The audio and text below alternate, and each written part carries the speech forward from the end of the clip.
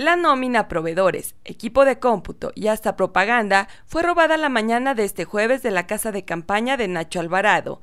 El atraco ocurrió cuando había mujeres y niños dentro del inmueble, relataron colegas de partido del contendiente a la alcaldía de Morelia por el Partido Acción Nacional. El acontecimiento fue en el domicilio número 684 de la calle Gertrudis Bocanegra, en la colonia Cuauhtémoc de esta ciudad de Morelia, cerca del bosque Cuauhtémoc. Hasta el sitio se trasladaron los oficiales de la Fuerza Ciudadana para atender la emergencia, pero al final no hubo detenidos, señalaron los propios representantes de la ley. El equipo de campaña de Nacho Alvarado confirmó el robo, además del hurto del dinero, del equipo de cómputo y de la propaganda, instante en que precisaron que se ignoraba la cantidad de efectivo que fue sustraída. Con información de Red 113 Michoacán, voz María Cel Varela.